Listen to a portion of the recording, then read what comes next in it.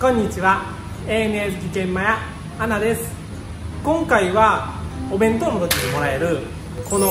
割り箸ですね。この割り箸を使って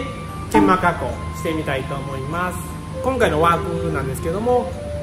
5パイで3パイの内径が空いてて長さが200ぐらいのちょっともう細長いワークなんですけどもこれを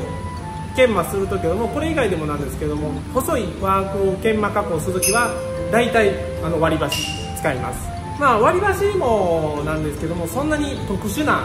研磨の技術ではなくて本にも載ってます。この本なんですけどもこの本も僕が研磨加工に携わるようになってやっぱりこういう研磨加工とか機械加工の技術ってあのあんまり検索サイトで探しても全然出てこないですしどうしようかなと思った時に本屋さんで見つけた本です。すごいこう年季の入ったイラストなんですけどもまあそれもそのはずなんですけども初版が昭和47年っていうすごい本です、まあ、この本にもその細長い研磨加工をする時の技術。技術っていうほどでもないですね。加工方法ですねが載ってて、ま、それに書いてるやり方です。以前紹介した長尺物長物の研磨加工でフレ止めっていうのをこう2本ぐっと押さえて研磨加工したやつの細い版が割り箸ですね。あのフレ止めも今回やるようなこういう細長いワークですね。だとあれが全然対応してないんですよね。あのフレ止めが。対応してない大きさになっちゃうのでそれの代わりっていうのもあれですけども代わりに箸を使っています、まあ、この箸もすごく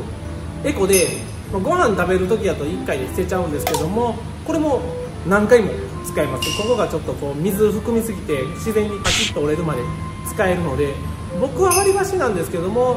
竹を使われる方もいらっしゃったりあとこう自作でこう削ってこう細い木を使う方もいらっしゃるみたいです。でも僕はもう前回のあの動画見ていただいたみたいな DIY すごい好きなんですけども苦手なんでもうこの箸がすごいちょうどいいしなり具合ちょうどいい柔らかさちょうどいい大きさなんで結構使っています。どこで箸使ってるか見てもらえると嬉しいです。じゃあこれ今から研磨加工してみたいと思います。よろしくお願いします。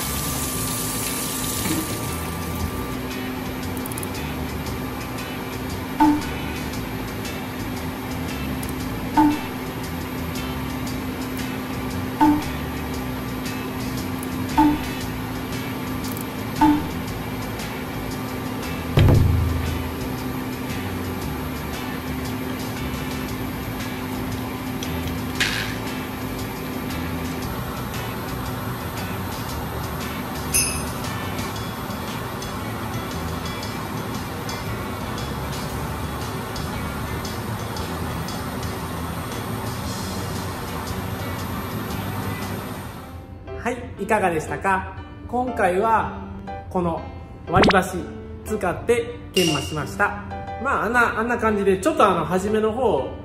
いいところにカメラ置いたなと思ったらまさかの箸使った時に手が邪魔やってちょっとあの途中でカメラの位置変えたんですけどもまああんな感じでこうドイツの通るところこれでサササーってするだけなんですけどもまあこれも力加減とかが結構あるみたいでこのやっぱり一人一人の力加減って全然違うんでこの力がいいっていうのがないんですけどもまあやるときにこうやってマイクロで測ってやってマイクロで測って何回も何回もやってあんな感じでこうちょっともうちょっとボコボコっていうんですかね1000分の3ぐらいちょっとボコボコになってたりとかしたんですけどもまああんな感じで箸でうんほぼまっすぐに研磨できました。ちょっとやっぱり押したりとかもするんで1000分の5ぐらいの触れは出ちゃったんですけどもまあ図面上は大丈夫なのでなんとかいけるかなと思います。やっぱり細いの結構難しいです。でもやっぱりやって完成したらすごいやりがいがあったりとかお客さんに良かったよって言ってもらえたらすごく嬉しいです。この動画良かったよ参考になったよと思われる方いいねお願いします。チャンネル登録もお願いします。それと僕はあの SNS もやってます。え Twitter、Instagram ブログですね。ブログも書いてるんでよかったらあのインスタとか Twitter もフォローしていただけると嬉しいです。最後までご視聴ありがとうございました。